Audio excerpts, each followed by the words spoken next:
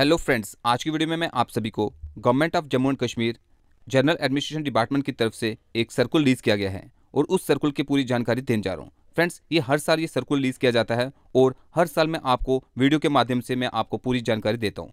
Friends इस साल भी ये सर्कुल रिलीज़ किया गया है और आज की डेट ही यहाँ मैंशन की है। फ्रेंड्स आपके सामने ये सर्कुल है और ये सर्कुल जो है filling of the annual property return by the Jammu and Kashmir government employees through online property return system पे आधारित है। फ्रेंड्स आपको पता ही होगा कि हम हर साल जो है अपना प्रॉपर्टी रिटर्न फॉर्म जो है फिल करते हैं ऑनलाइन और इस साल भी आपको जो है फिल करना होगा। फ्रेंड्स ये पूरा जो सर्कुल आपके सामने है और डेट आप देख सकते हैं सर्कुल नंबर आपके सामने मेंशन किया गया है। फ्रेंड्स आप देख सकते हैं फिफ्थ पॉइंट पर यहाँ पे लिखा गया कि आपको पीआरएस यानी हमारे पास प्रॉपर्टी रिटर्न जो सिस्टम है, उस पोर्टल पर जाकर आपको जो है इसको ऑनलाइन करना होगा और अपना प्रॉपर्टी रिटर्न फॉर्म फिल करना होगा।